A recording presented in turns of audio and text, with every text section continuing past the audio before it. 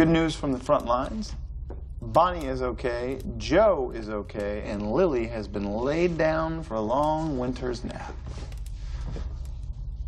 Ah, you look lost in thought. I remember everything.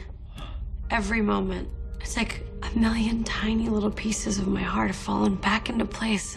I remember the moment that we met, the moment that we fell in love, how much I didn't want to love you, but it was like it was like I was being swept up into a current. I I I was consumed by it. It's a good thing, right? Damon, I remember everything. Every kiss, every conversation. I still don't see how that's bad. We've already had this discussion, Damon. About the cure on the island. What? No. That was totally different. Was it? Because I, I remember it like it was yesterday. Take the cure with me.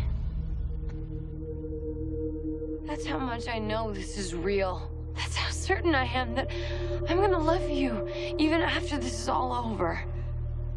Take the cure. Be human with me. You know, I used to miss being human. Now I can't think of anything more miserable on earth.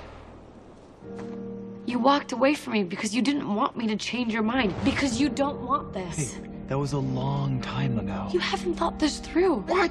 No. You're so afraid of losing me that you've convinced yourself that you can endure a human life. Don't tell me what to think. Okay, fine. What about Stefan? What does he think? I don't care what Stefan thinks. I've made up my mind. I'm not going to have him drown me in a fountain of guilt and have me change my mind. Damon, I love you more than I ever thought was humanly possible.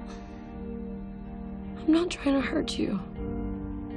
But I can't let you do this. Not before you've let everyone in your life try to talk you out of it, including you.